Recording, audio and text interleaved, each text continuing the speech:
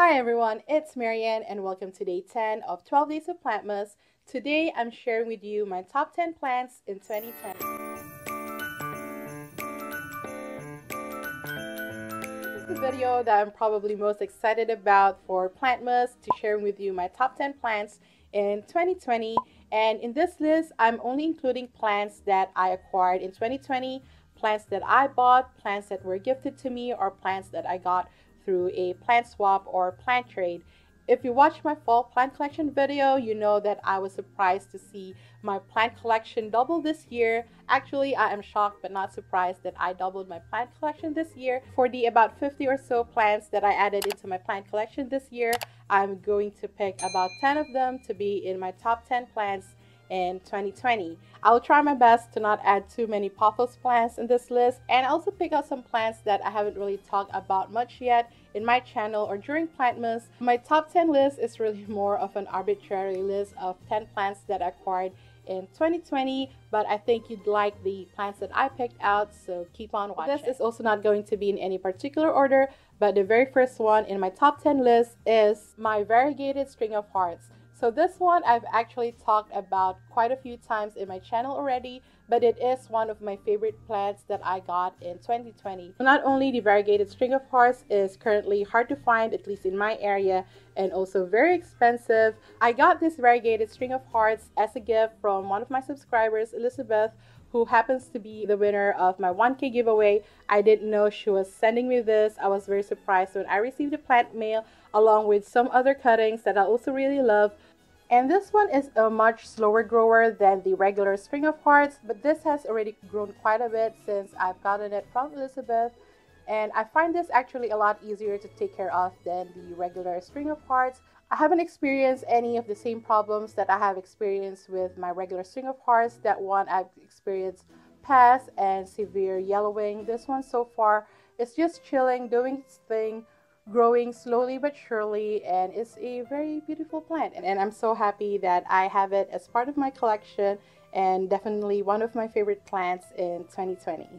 The second one on my top 10 list is my Scindapsus Jade Satin. This one I actually got from a plant trade with someone in a plant Facebook group that I'm in. She was asking help for her newly acquired Scindapsus Jade Satin and I help her out with her problem with it and after that, I shamelessly asked if she was willing to trade some cuttings with me, and she so happens was looking for Manjula pothos, which I had a lot of. So I traded her one of my smaller pots of Manjula pothos for some of her cuttings of the Scindapsus Jade Satin, and she actually gave me a lot more cuttings than what you see right now. But I found the Scindapsus Jade Satin is harder to propagate compared to my other pothos, even compared to some of my other Scindapsus. So half of the cuttings she gave me actually rotted off and I was only left with about I think three cuttings. This is like the original leaf of the cuttings that she originally gave me.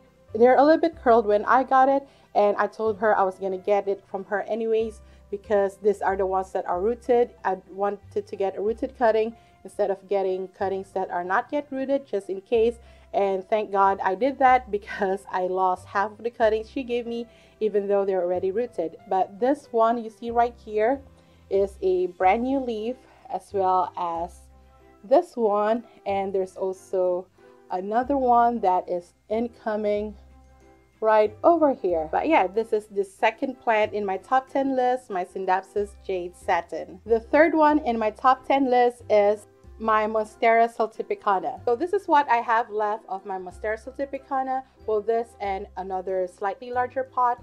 I used to have a Monstera siltepecana in an 8 inch pot that I got from Lowe's actually for about 17 or $18 which is probably one of my best finds at a garden center and I couldn't believe that I found a Monstera siltepecana at Lowe's.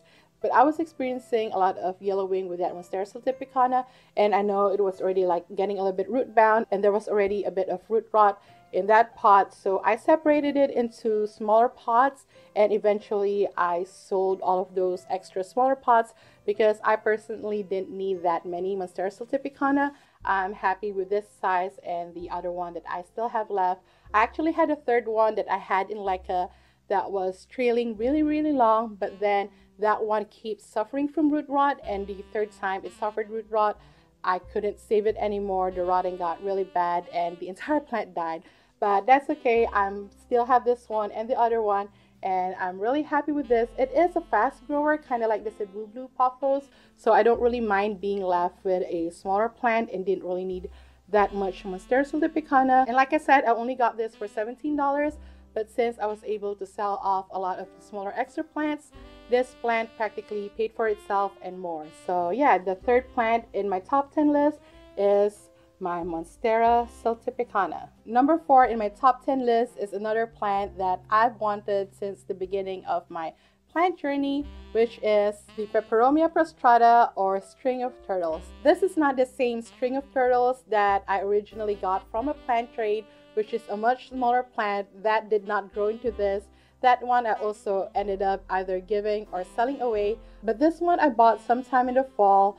This plant was popping up at Lowe's or Home Depot earlier in the year, and people were finding it along with the variegated Hoya compacta but I could never find it in my local Home Depot or Lowe's.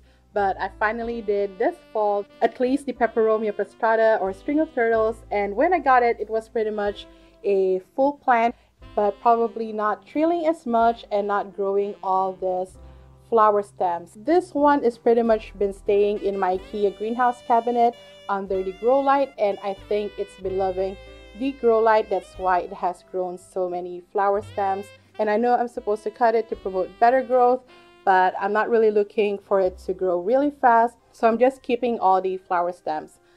Fourth one in my top 10 list is my Peperomia prostrata or string of turtles. And the next plant in my top 10 list is the Ficus benjamina snow white variegata. So this is one of the plants that I got from Plantier in Chicago. When I got this plant, I didn't really know much about it except that it is a ficus. When I got this, it probably had three, four leaves the most. It looked really struggling and I only paid $10 for it. So I thought it was kind of worth it. If it ended up dying, it wouldn't be too bad. I didn't spend a lot of money on it. But I've really grown to love this plant because it looks like a miniature Tineke rubber tree, which is a plant that I've wanted to get for a long time. But I'm really happy that I got this one because this looks exactly like a miniature version of it.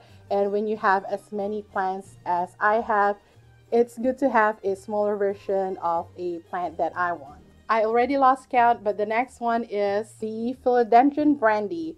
So this is also another plant that I wanted to add to my pothos collection. And I got this one at a Facebook marketplace. It was a rooted cutting. It was already potted up. And I got it in a pretty much good condition with only just this large leaf and probably this leaf.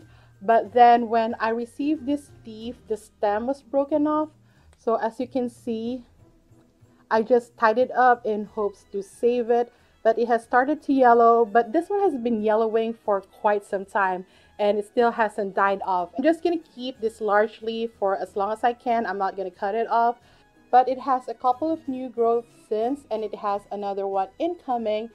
I don't like a lot of philodendrons but i do like this one and i think i got this one for about $18 which is not bad because this plant goes also for a very high price whether you buy it online or in nursery shops or if you're lucky to ever find this at a garden center. Next plant in my top 10 list is the Shangri Oohlala pothos. So this pothos is a funny looking pothos. It looks like sauteed spinach. This one's considered a rare epipremnum. I got this from Etsy for $30 as a cutting, which is kind of expensive, but if you actually look at the prices of this one for a non-variegated Shangri-La pothos, it's actually a lot more expensive than the price that I got this one and this one is a variegated sleeping pothos. But I really enjoyed having it so far. It's currently propagating in moss because when I got it it had a little bit of roots but not a lot so I'm trying to get it to grow a lot more roots. So far it hasn't given me any new growth yet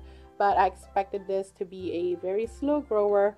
But I'm really excited to have this as part of my collection because I didn't think that I would be able to add it to my pothos collection so soon. That is the Shangri Oohlala pothos, another plant in my top 10 list. So the next one in my top 10 list is one of those plants that were really trendy and hard to get at first, but now you can pretty much find them everywhere and it's the ZZ Raven. So I do have the regular ZZ plant and I got this ZZ Raven actually from a plant trade at H Street Farms. And I like this plant because of the coloring. It is unique. It has that darker leaf color. As you can see against my wall color here, how it really pops and it's such a beautiful plant. And like I said, this has become more accessible ever since Costa Farms started carrying it in their Life Trends collection. But this one I actually didn't get from Costa Farms. I did get it from a local plant nursery called H Street Farms in DC, but as a plant swap with the owner of the nursery. So this is another plant in my top 10 list, the ZZ Raven. I think this is the second to last plant in my top 10 list, and this is a wishlist plant that I had from last year, which is the Hoya Krimson Princess. Ah, it's in my mouth. As you can see, it's so large I could barely fit it in the frame. I pretty much got it this size, though of course it has grown quite a bit ever since I've gotten this. I think I got this sometime around early summer along with my other pot of the Manjula pothos. Again, I also found this in Lowe's. I don't really have a lot of local nurseries in my area and I would have to travel quite a bit to get to them. So the closest garden center to me is a Lowe's and that's is the one that I often go to and where I get most of my plants. And this one is in my top 10 list not because it was just a wish list plant but because this is such an easy care plant I would say even a lot easier than some of my pothos because this one kind of like with ZZ Raven I only water this once a month and so far no pest problems with it. It would have some dried leaves every now and then but not too much that it is alarming. But kind of like my Hoya Krimson Queen, I love that how it grows some pink leaves at the beginning which turns into white variegation later on but it also produces some solid color green leaves which is kind of like a regular Hoya carnosa. I haven't gotten any of my Hoyas to flower yet. I'm excited to see if this one will ever flower but so far right now I love it the way it is and yeah this is the second to the last plant in my top 10 list the Hoya Krimson Princess and the last plant in my top 10 list is my Thai Constellation Monstera I already talked about this in day 9 of Plantmas. So I'm not going to repeat what I said over there. But this is a wishlist plant as well and one of the plants that I imported from Thailand. And it is looking so beautiful and I'm really glad to finally have it in my plant collection. But yeah, my battery is running out. That's why I'm rushing. But yes, those are my top 10 plants in 2020. Thank you so much for watching and I'll see you at day 11 of 12 Days of Plantmas. Bye!